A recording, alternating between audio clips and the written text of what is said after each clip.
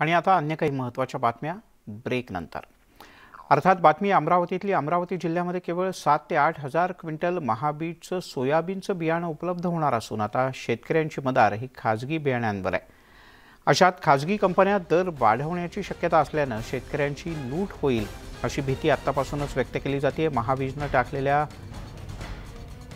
Seed प्लांटवरती बियाणं उगवलीच नसल्यानं बियाण्यांची टंचाई निर्माण झाल्याची माहिती महाबीजचे जिल्हा व्यवस्थापक संजय देशमुख यांनी दिली.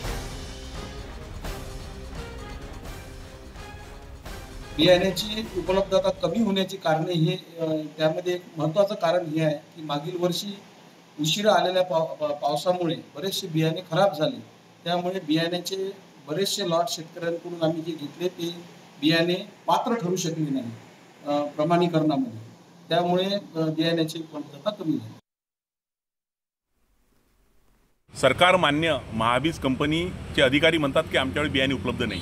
ही अत्यंत शोकांतिक आहे. कारण शेवटी सरकारची जबाबदारी असते का शेतकऱ्यांना चांगलं दर्जेदार बियाणं द्यावं यासाठी महाबीजची निर्मिती झाली आणि महाबीज म्हणते की आमच्याकडं बियाणंच नाही आहे म्हणजे कधी कधी असं आणि आज सोया शेतकऱ्यांनी सोयाबीन सात हजार रुपये प्रति क्विंटल विकलं आणि आज खाजगी कंपन्या जवळपास वीस हजार रुपये प्रति क्विंटलनं बियाणं विकून राहिले. आहे म्हणजे कधी कधी वाटते की एकदम चांगलं दर्जा असलेली महाबीज कंपनी जेव्हा बियाणं नाही नाही म्हणते.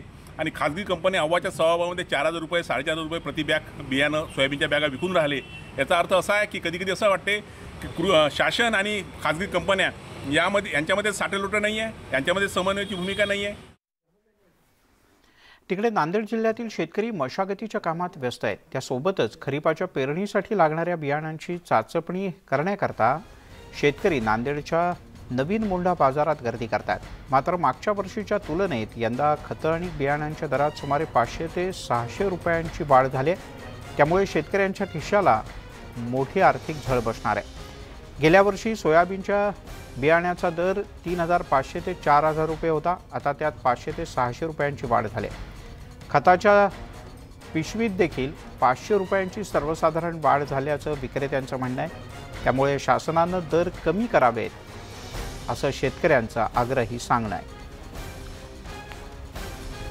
या रेट खताचे वाढलेले आहेत बियाचे वाढलेले आहेत शेतकऱ्याला काय परवडत नाही आहे खत बी घेणं म्हणजे. सगळ्या मागं पाचशे पाचशे रुपये प्रत्येक याच्या बॅग मागं वाढलेले आहेत. तरी शासनाला एवढंच आमचं म्हणणं आहे की खताचे रेट कमी केले पाहिजे आणि बियाचे पण केले पाहिजे. पाहिजे तसा रिस्पॉन्स नाही आहे दरवर्षीप्रमाणे. अगोदरच्या भावामध्ये आणि आताच्या भावामध्ये बराच वाढ झालेली आहे. वाढीमुळे शेतकरी विचार करत आहे की घरचं फेरावं की बॅगचं फेरावं कोणतं पेरावं कोणतं नाही. आणि दुसरी गोष्ट म्हणजे त्याच्यामध्ये जी क्वालिटी आहे.